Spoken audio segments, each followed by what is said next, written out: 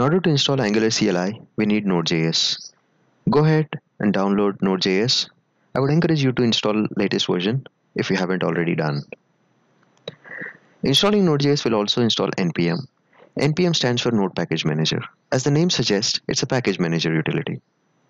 It lets you download dependencies such as Angular, Bootstrap, and many more. To install Angular CLI, open a command prompt anywhere on your local machine and hit the command that is shown on the slide. Open a command prompt. I've already installed Node and I have npm installed as well. Now it's time to run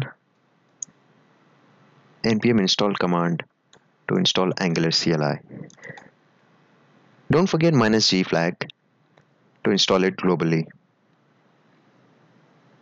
I'm not gonna hit enter because I've already installed it. So if you're following along, go ahead and hit enter.